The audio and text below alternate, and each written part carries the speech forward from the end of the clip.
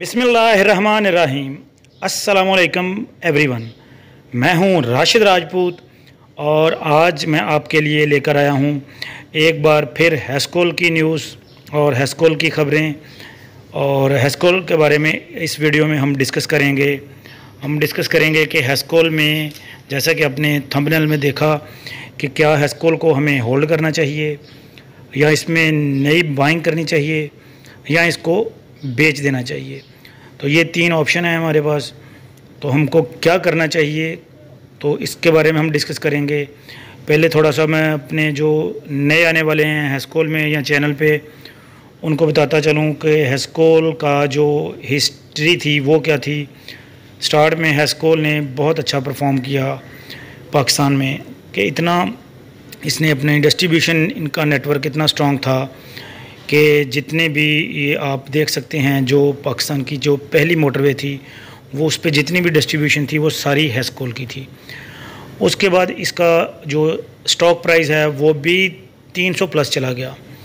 उसके बाद हैस्कोल ने एक स्कैम किया। उसके बाद इसकी जो प्राइस है, वो डाउन होना शुरू हो गई। होते होते होते वो डाउन इस कदर हो गई कि वो 300 वाला जो स्टॉक है वो तीन रुपए पे आ गया। तो ये एकदम नहीं हुआ, अचानक नहीं हुआ। इसके पीछे भी पूरी ये एक हिस्ट्री है। बरकैफ हैस्कोल जो है, एक अच्छा स्टॉक था। इसमें अच्छी फ्लक्चुएशन होती थी। बहुत से लोगों ने इसमें कमाया। तो वक्त के साथ साथ इन्वेस्टर इसमें जो बड़े इन्वेस्टर थे, वो निकलते गए और जो छोटे हैं, वो इसमें होल्ड करके वो बैठे रहे। तो इसके बाद पिछले तकरीबन दो साल से एस्कोल जो है, वो रेंज बाउंड पोजीशन पे आप देख सकते हैं चार्ट पे भी। ये देखें, ये तकरीबन पिछले दो साल का पाँच साल का है, लेकिन आप दो साल का डाटा देखें तो दो साल का चार्ट देखें तो ये रेंज बाउंड पोजीशन पर ही मूव कर रहा है।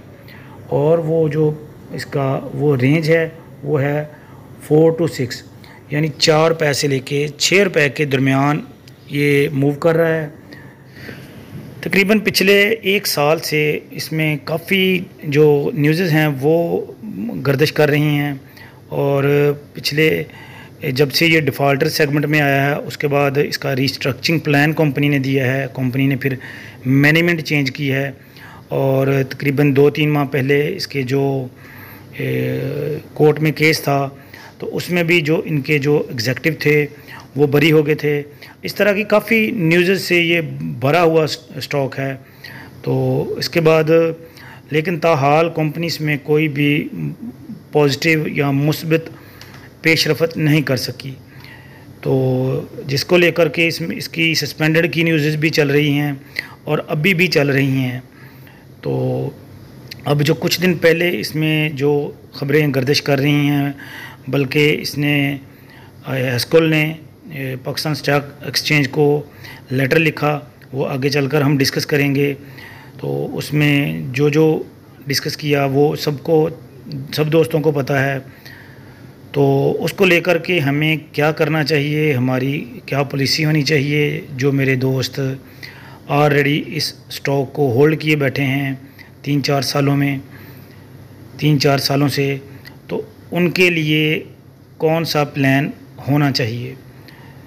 तो डिस्कस करते हैं। बाकी इसकी रही बात कि हैस्कोल जो है, वो लॉस में है। तो जो भाई मेरे कह रहे हैं कि जी हैस्कोल डिफ़ॉल्टर सेगमेंट में ज़रूर है, लेकिन वो कह रहे हैं कि जी हैस्कोल बहुत ज़्यादा लॉस में है। तो मुझे सिर्फ़ इतना बता दें कि जो दुनिया की जो बहुत बड़ी कंपनियाँ हैं, जैसे कि शेल क्या वो प्रॉफिट में है पाकिस्तान में? क्या जो पाकिस्तान की सबसे बड़ी ऑयल की कंपनी है पीएसओ वो प्रॉफिट में है। तो ऐसी बातें करके कोई भी बंदा, वो जो ऑलरेडी ये डिफ़ॉल्टर सेगमेंट में है, ये बिल्कुल ठीक बात है। लेकिन कोई भी जो इसकी, इन दिनों में जो ऑयल की जो बड़ी बड़ी कंपनियाँ हैं, वो सारी लॉसेज में है। पीएसओ लॉसेज में है शेल लॉसेज में है अटेक लॉसेज में है। तो हैस्कोल के, उनके सामने ही क्या है? तो बाकी डिस्कस करते हैं अब उस लेटर को, जो कि हैस्कोल ने पाकिस्तान स्टॉक एक्सचेंज को लिखा। जी भाईजान, ये है वो लेटर जो पाकिस्तान स्टॉक एक्सचेंज को लिखा है हेस्कोल ने। तो आप देख सकते हैं इस पर डेट जो वो करंटली है 16 जून को, कुछ दिन पहले ये लेटर लिखा है कंपनी ने। हेस्कोल ने, जिसका सब सब्जेक्ट आप देख सकते हैं डिस्क्लोजर ऑफ़ मटेरियल इन्फॉर्मेशन यानी इसमें उसने अपना जो मटेरियल इंफॉर्मेशन शेयर की है पाकिस्तान स्टॉक एक्सचेंज के साथ. तो जिसमें कंपनी ने बताया है कि Taj gasoline to acquire 41 percent share of Hascol petroleum जी दोस्तों तो इसमें कंपनी ने सारे डिटेल में बताया है कि 41 परसेंट यानी जो मेजर शेयर्स हैं वो ख़रीदना चाह रही है गैस ताज गैसोलाइन और वो कौन सी टर्म एंड कंडीशन पे ख़रीदेगी और इसकी जो प्राइस है वो क्या होगी?